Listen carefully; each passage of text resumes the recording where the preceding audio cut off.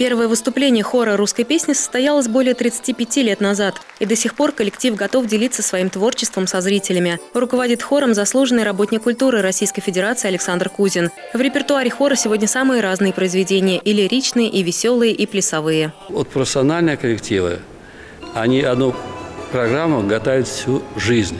Две-три вещи заменят, это у них обновленная программа. А нам приходится часто менять, менять, менять, менять, менять. У нас очень много, вот за все с 82 -го года, у меня столько вещей, ни один профессиональный коллектив столько не поет. Хор русской песни объединил несколько поколений людей, неравнодушных к народному творчеству. Среди участников представители самых разных профессий, сотрудники РФЯЦ и городских предприятий. Музыканты рассказывают, что исполнение русских народных песен радует и сердце, и душу.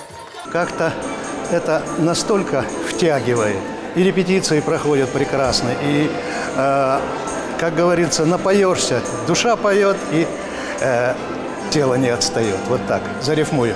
Хор неоднократно становился лауреатом различных фестивалей и конкурсов, однако для участников коллектива и руководителя это не главное. Самое важное для них – показать зрителям красоту русской народной песни. Екатерина Опенова, Константин Островский, Владимир Лисик, Служба новостей Саров, 24.